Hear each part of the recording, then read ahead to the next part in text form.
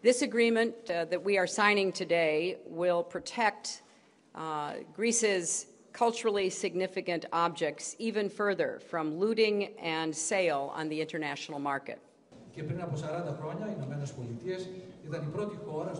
America is just as committed to Greece's future as we are to preserving your past.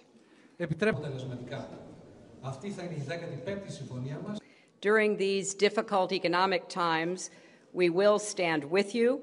We are confident that the nation that built the Parthenon, invented democracy, and inspired the world can rise to the current challenge.